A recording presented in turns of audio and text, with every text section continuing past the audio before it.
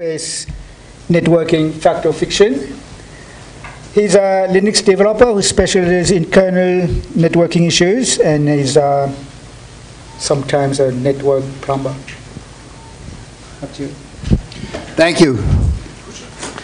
And since everybody made the trek over here, the best question I have a prize for. You may wonder why someone whose livelihood is working on Linux networking would advocate you not use it.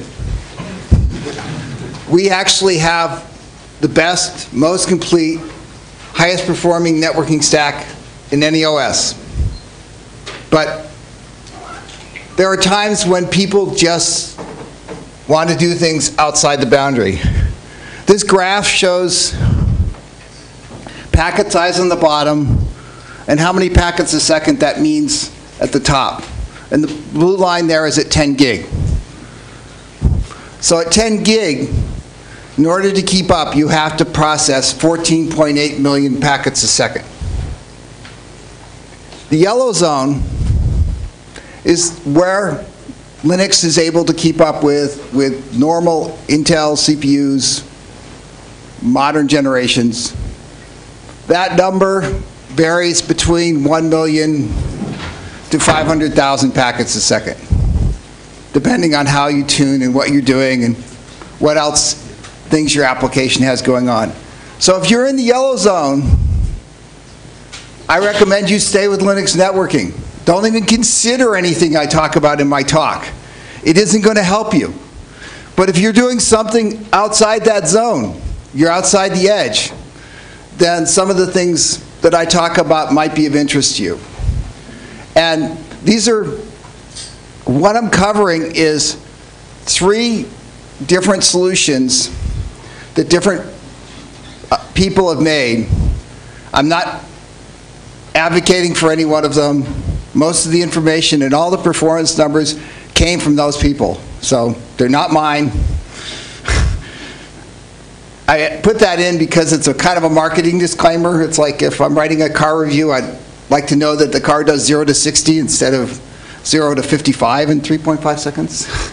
So because I haven't measured any of these, I don't want to, you pick on me. But we wonder why is this a problem? Well, where we normally talk about servers, 1.2 million packets a second, it, you have about 835 nanoseconds between packets, which comes out to this many cycles and this many cycles on a 2 gig and 3 gigahertz process. When I was here seven years ago, Paul McKenney gave a talk about RCU and cache size, and he made an example about the difference between an L3 hit and miss, and he did with toilet paper up and down the aisles in the big theater. The point is, you, you got 40 cycles if you're staying the cache, but if you miss, it's about 200 cycles. So sure, you can do 12 cache misses in your software, and you'll be fine, and you can keep up. If you start to do things over here, you start to handle 64 byte packets. You do the math to get down to, gee, one cache miss and you can't keep up. There's many cache misses in the normal Linux stack. You can't help it. Uh, so you can't possibly do that. And when I say the traditional Linux stack, what I'm talking about is you've got an application running in user space, nice generic API sockets, a TCP IP protocol stack, processing and ordering your data and maintaining its consistency, Ethernet drivers, and down here you have the network interface and hardware. Looks like a simple picture, but if you actually look at the real packet flow, um, this is actually Wiki, from Wikipedia and the NetFilter guys did it, but you start to see there's all these features where we start out and we decide to have rules to mangle, and we have things and optimizations that occur like uh, packet aggregation for receive a GRO, and we have deferred interrupts, and there's many, many pieces we've created to make a generic solution. If you want that generic solution, and chances are you may need it if you're running a server on the internet, you want a firewall. If you on a server on the internet, you may want to run Wireshark. If you're on the internet, you probably you may even want uh, QoS things, like I'll be talking about tomorrow in buffer bloat. All those features are part of this big, long chain. There have been people that have started on this before, the TCP offload engine guys. But their view of the world was, we want to sell you expensive hardware with proprietary firmware, with proprietary TCP stacks, and we'll just do some socket glue so that your application is the same. This got roundly rejected by the networking community in Linux for several reasons. Part of it was all those features like firewall and security, there was no way to put them in. But mostly, this was just a big blind spot.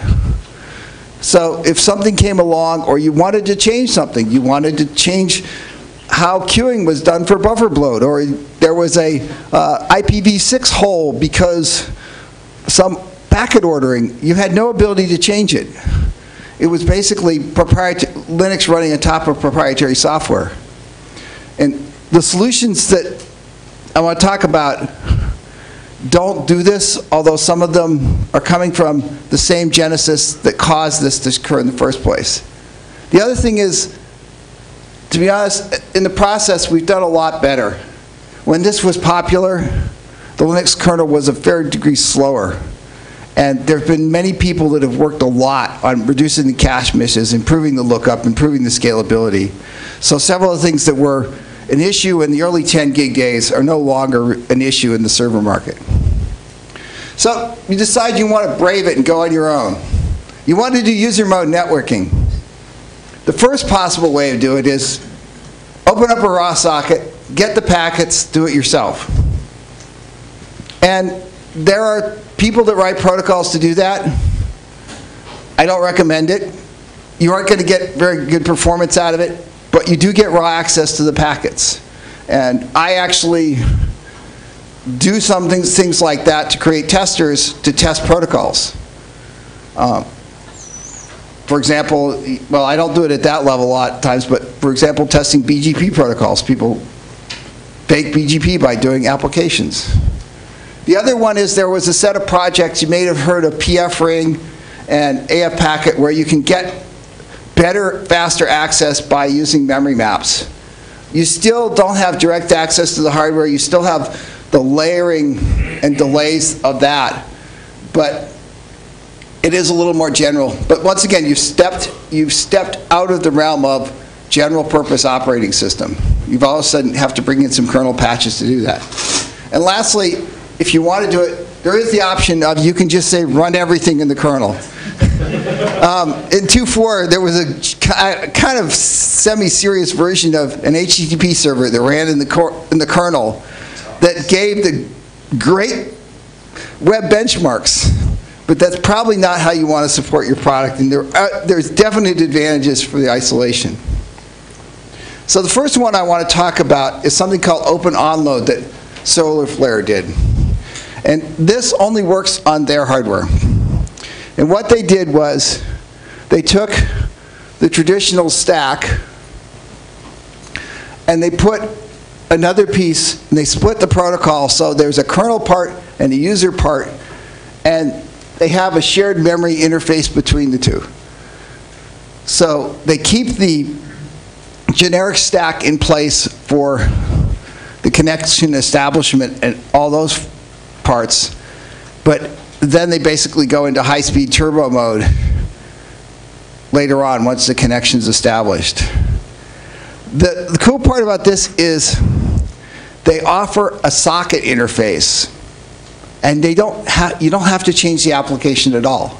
You do an LD preload, you get their shared library, and you open sockets, and it just looks like a TCP connection even more complicated, and you really should go see the Google Tech Talk on this, they dealt with all the nasty semantic issues.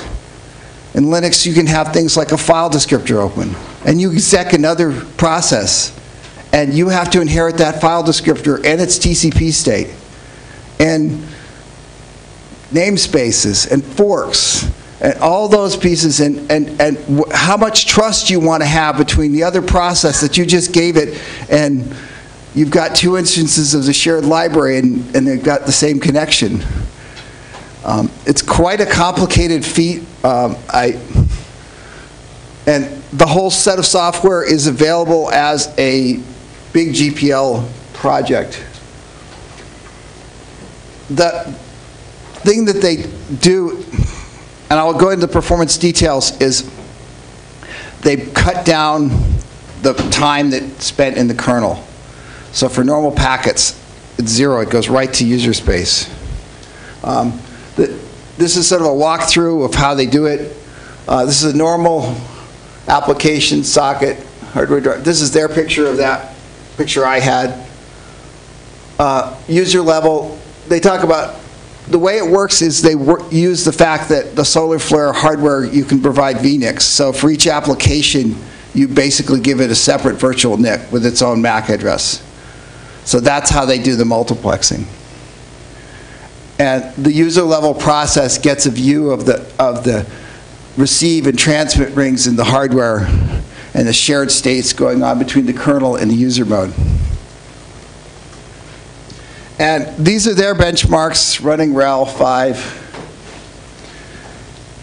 And you start to see why this shows up. Um, If you do kernel, round trip, ping pong, on TCP, you get 11 microseconds.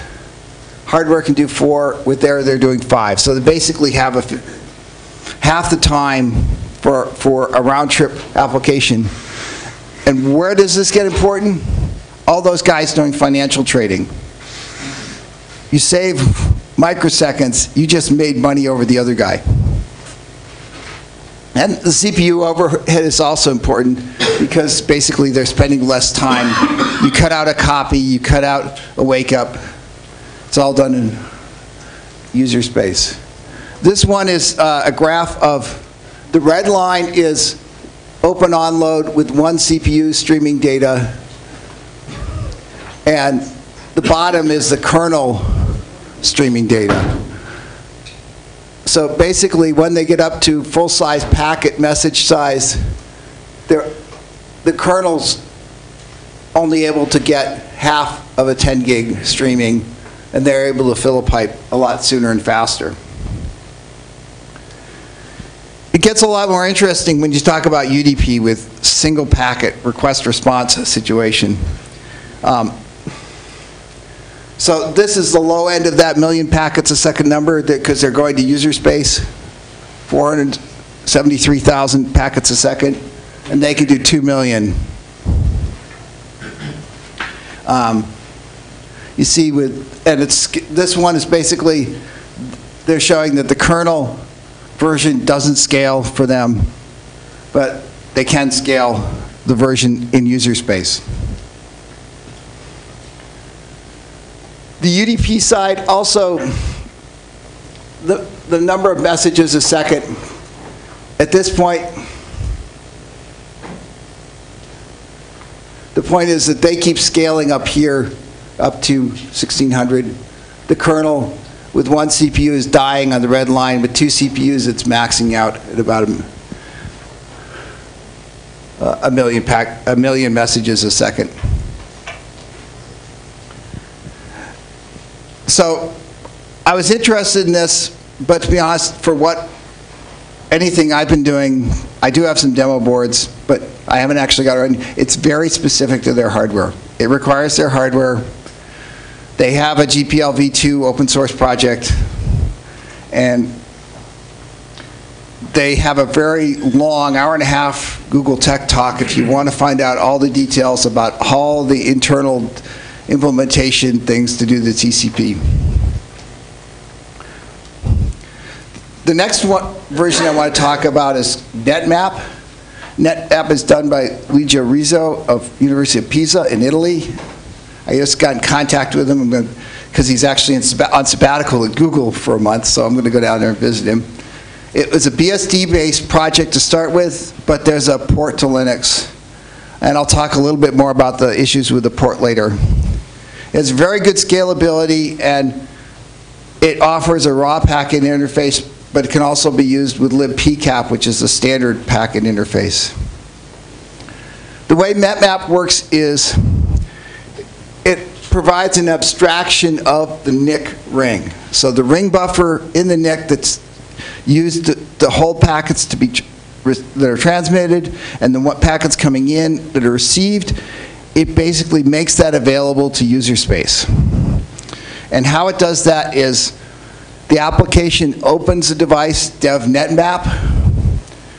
It then does a special IOCTL to say it wants to connect to this interface, and then it maps the, the ring buffers. And on transmit, it fills those ring buffers and gives an IOCTL to wake up the actual NIC hardware.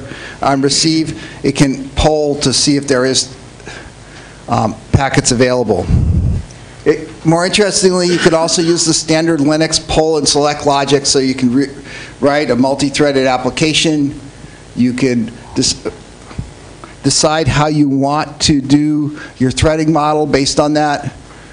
There is no, no protection here. There's nothing that says, um, there's no locking of those ring buffers.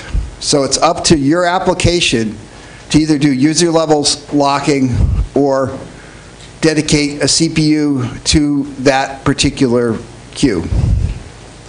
And the NetMap is multi-queue, which is actually kind of surprising because BSD is pretty far behind on their multi-queue support. But it, you can open and bind a particular FD to a particular ring buffer. All the 10 gig, well, I wouldn't say all, but 99% of the 10 gig hardware out there supports multiple queues, so to get scaling. And so you can say, I want this thread, I have this FD open, I would like to bind it to this queue, and I would like to transmit packets on this queue, and I'll poll for, to receive on this queue. It leaves all the affinity, all the locking, everything up to the application. It only provides the actual access to the ring buffers.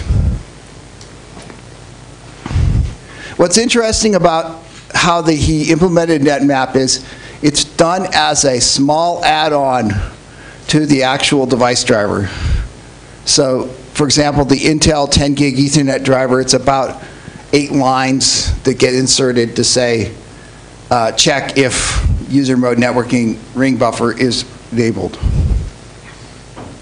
All, that means that all the management of addresses, counters, everything else, the interface looks normal. It's just being used differently by the application. And that also means that it's perfectly possible to send and receive and use that interface for both normal traffic and, well, what we in the networking world call slow path traffic, stuff that goes out through the other side. And this is his performance graph. Basically, the bottom is running packet gen on Linux, and this is CPU clock speed. And if you look with a modern CPU, you, somewhere between four, two and four million packets a second is what you can get out of the Linux kernel packet gen. And he's, the demo application he wrote for NetMap is a version of a packet gen-like process from user space. And he can saturate it with a fairly lo- low-end CPU. And on the receive side, it can keep up with a 10 gig interface. But that's just receiving, sending, receiving packets. That's not doing it. You have to compare it slightly with the earlier case where we actually had two, TCP and UDP. This is just, you got the packets up to you. And if you look at where this is interesting, comparison, there's really two kinds of, of forward, three kinds of forwarding that go on now. There's bridging, there's the new Open vSwitch, and there's actual routing. And his implementation, what he's measured is a bridging and Open vSwitch.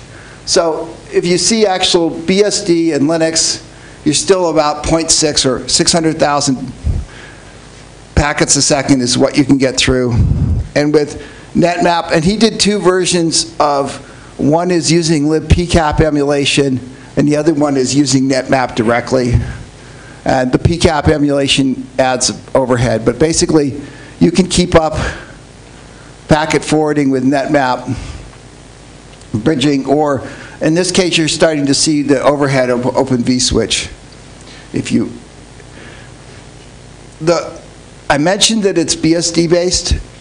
The Linux port of it does exist and you can download it, but it's kind of in the super ugly state, the state where it would go in the staging tree.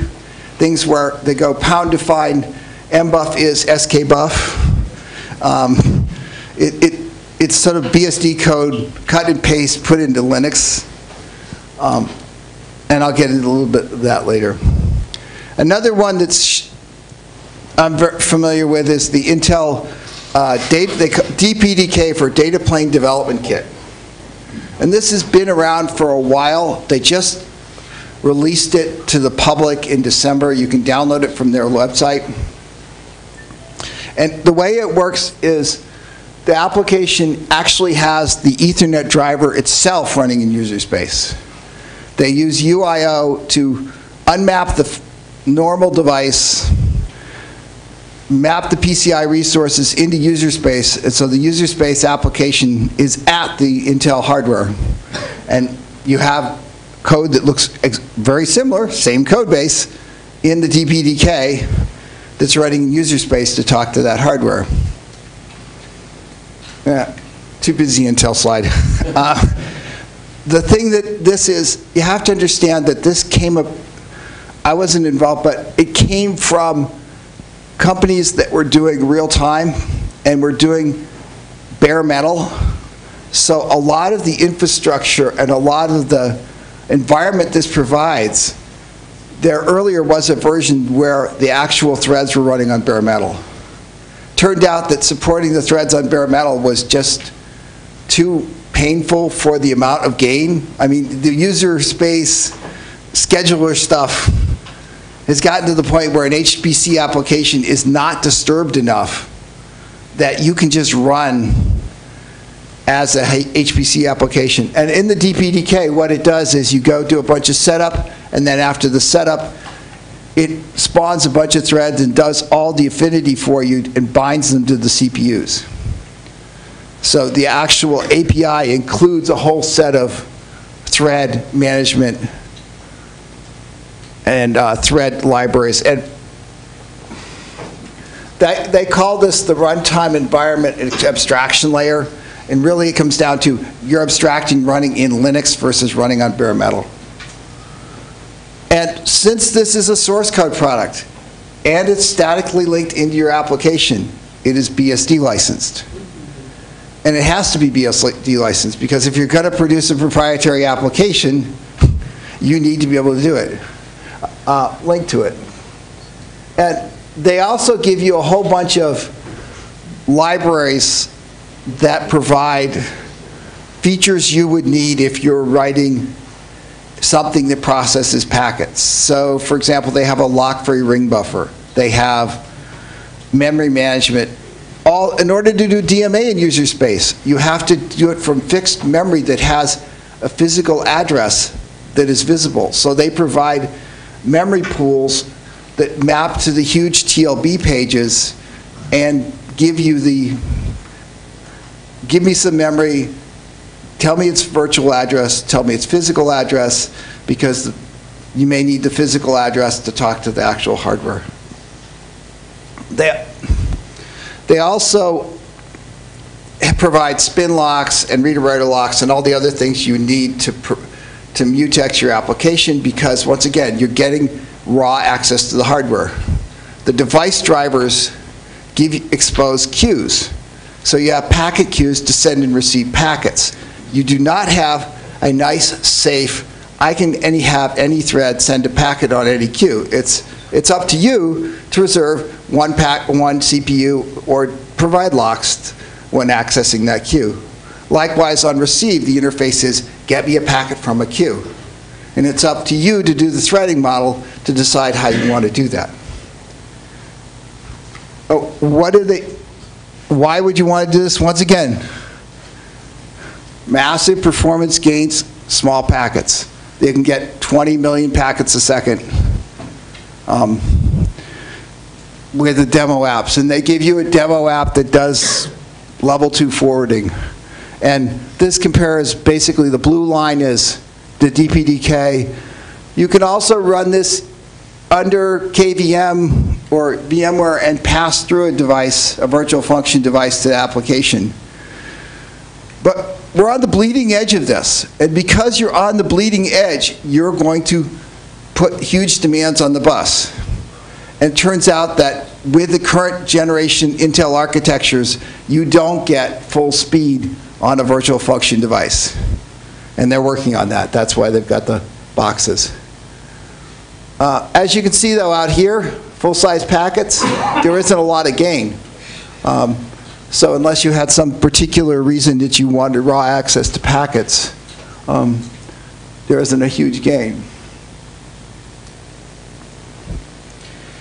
If you look at these three, each one of them provides a different level of solution.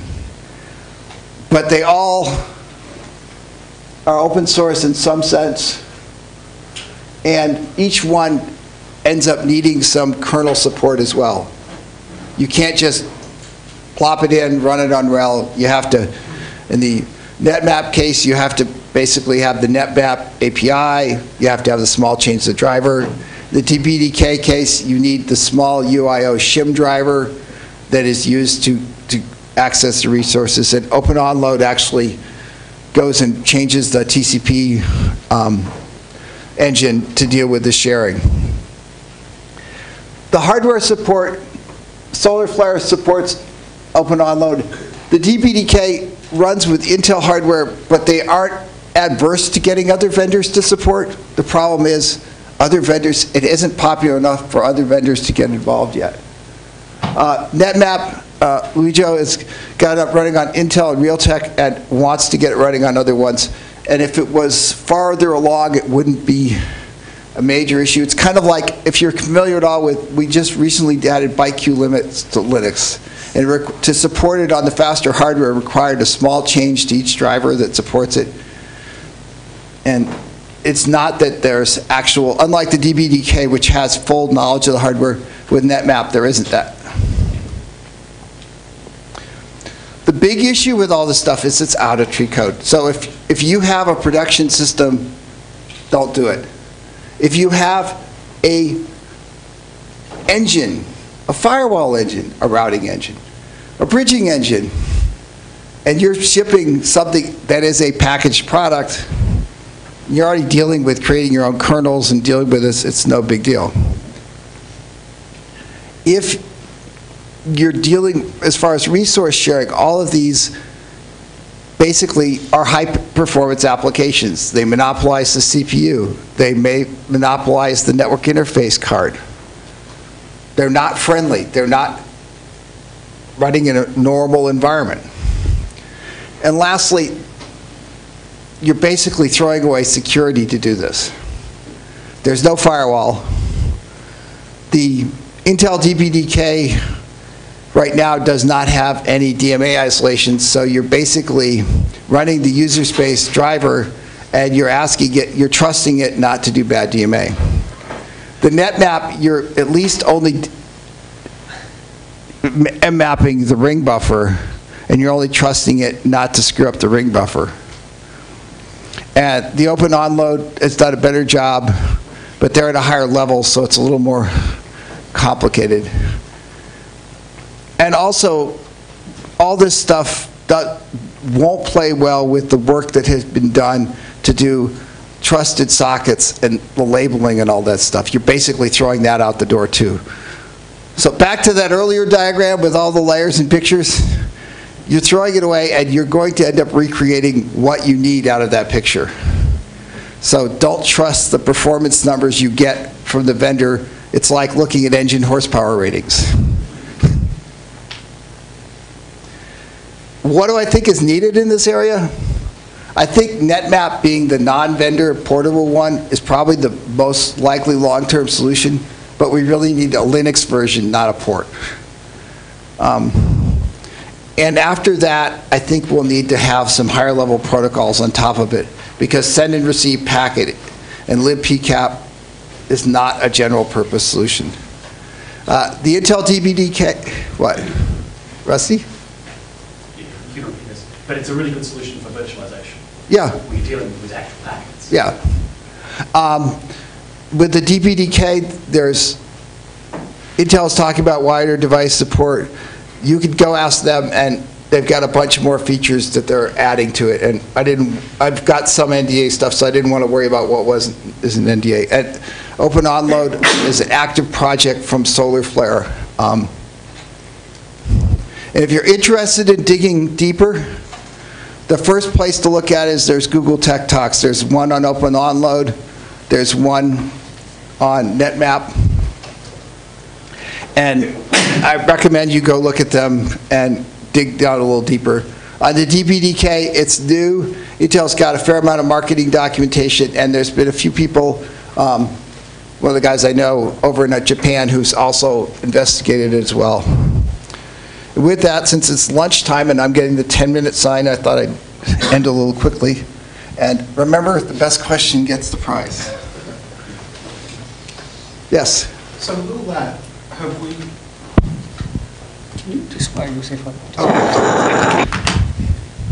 so is there much new research going into actually looking back at TOE, maybe using some of the newer network processing to make it a more, um, uh, maybe just a less horrific I, I har- think, hardware?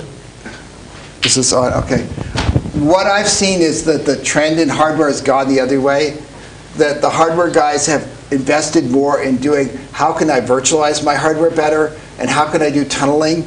They haven't invested in, the market didn't accept it, so if I'm a company, I make what my customers want, and my customers want more virtualization. They, I mean, like Intel on 40 gig, but just put a bunch of stuff on, how can I do VXLAN and GRE tunnels and make the hardware magically do it for me? So that's where they're investing. You see a lot of, Do you see a lot of people using the packet mmap um, interfaces outside of PCAP? I mean, I've, I've I've used that. never seen anybody using it outside of PCAP, but I'm sure there are people that, I've used it. I mean, it actually. Me too. Uh, but I'm, I'm curious. I've always been curious what the performance against something like Solarflare would be, but I've never actually had the time or the Uh, resources to do it. I I don't know, I I guess the people we also see are people that are doing NetFlow and stuff like that, The, so. the packet mmap still um, serializes a packet out of skbuff and, and, Yeah. and copies it into user space. So it's still an extra copy and things and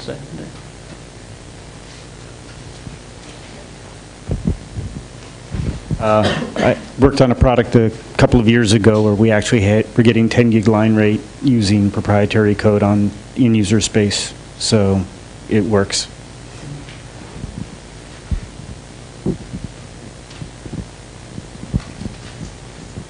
So one obvious place where they want to push packets directly to and from user space is virtualization, QEMU, KVM, et cetera. So have you looked at the solutions that we've hacked together for that uh, by comparison? Because it's a similar kind of problem. No, I haven't actually looked at that. um, Although I will admit that um, I have looked at what it takes to do VirtIO type drivers in these environments. Yeah, so I mean, the obvious one is vHostNet, which uh, is still labeled experimental until that patch goes through that Yeah. flushes all those out, uh, for, for I think a quite a good reason, and I've actually been looking at that recently, and it ties in really well. Um, if we have one direct user space solution, it's the obvious solution to feed into that kind of mechanism where you've got a virtual machine is the Right. process. Then you don't have to worry about reimplementing TCP because you've already got that inside your VM. Yeah. I'm also a little bit concerned, though, that uh, just like every time we get a new feature, it exposes bugs in existing device drivers, that um, we may find that this exposes bugs in the existing device drivers where they're not up to full speed as well. So as we move the, um, the host layer more towards packet passing, uh, yeah, as you said, you're moving away from TCP offload. Does that mean we're losing um, hardware checksumming and segmentation and all that's like something we're just never going to get back? No, most of these solutions basically pass that metadata with the packet because you end up with some amount of metadata you want anyway for VLAN offload and TCP offload. So invariably, for example, the Intel one, you say receive packet, and you get packet plus metadata. Right. In, in, it- in their case, it's an MBUF form, but, and likewise with NetMap, NetMap, there's no reason we couldn't have ability to give you the packet data plus here's whatever else the hardware can tell you. Um, another one, would example would be timestamps. A lot of the hardware provides timestamps now. And I can see if I was doing a financial trading application, I want to know when that packet arrived, and that's part of the metadata that's there with the hardware.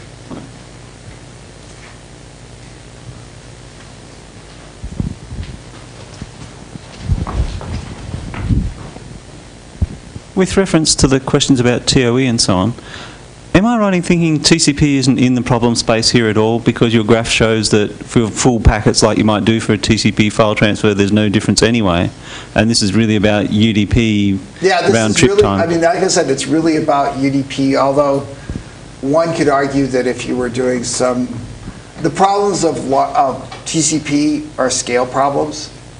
So if I was doing a huge web server with millions of customers, then maybe I'd want to do it.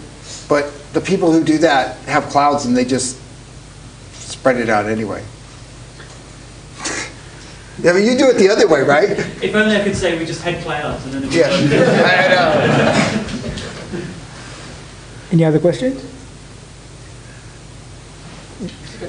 Yes.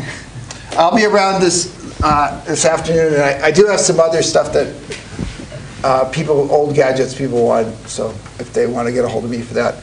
And uh, the award for the best question, I will go with the first question, because it was fairly good, and you get the card reader.